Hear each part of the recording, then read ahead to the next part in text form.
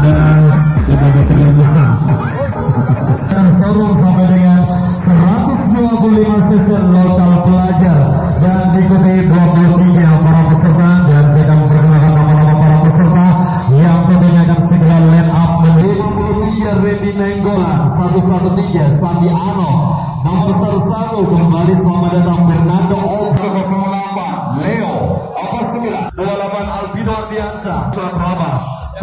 yeah